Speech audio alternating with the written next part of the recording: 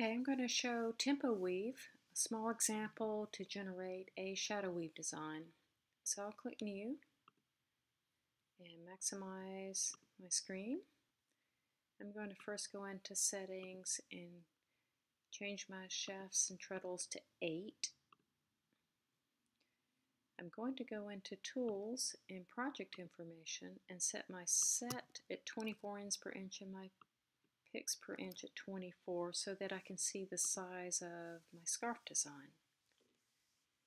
So the first thing I need to do is to take a free draw tool and draw a little curvy line here for my pattern line.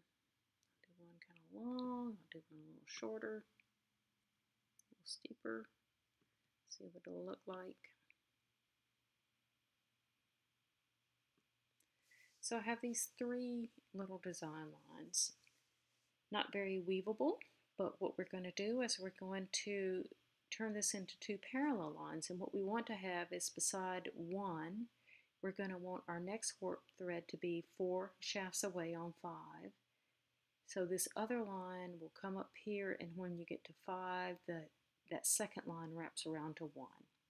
And if you know anything about shadow weave, usually you use a dark and a light color, and that makes the shadowy effect. So I'll do a tie up, and I'll do one, two, seven, and eight.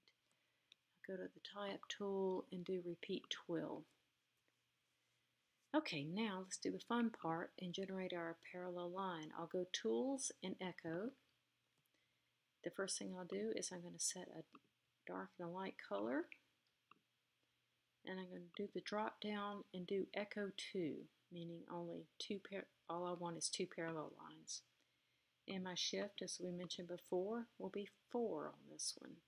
So when I hit apply I'm going to close this panel so we can see. I now have twice as many warp ends and I have two parallel lines.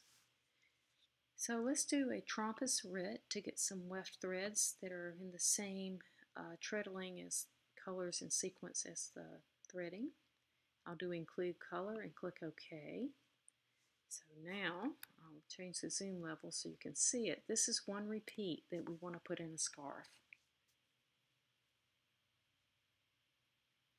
So let's go into the design tab and do a quick repeat and repeat the warp. If I repeat it one more time, I've got 9.1 inches and let's maybe I want it a little wider than that. So if I repeat it twice, I've got 13.7. On the left, I'll do a few few repeats so I can see what's going on. Let's go to 22.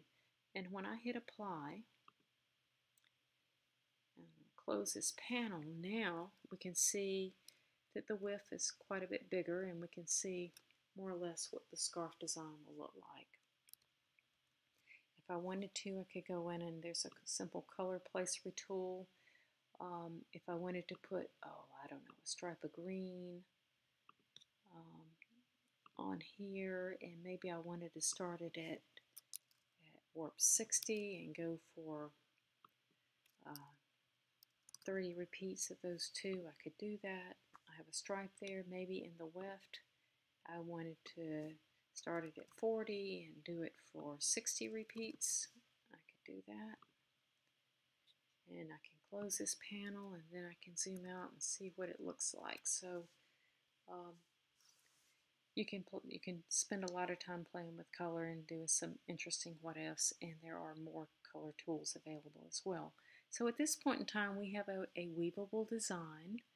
Um, you can do a file and a save as, give it a name, and um, you can share it with a friend. You can open it in other weaving software because this the WIF standard should be um, usable by any of the weaving design softwares and you, you can load it directly into Tempo Treadle as well.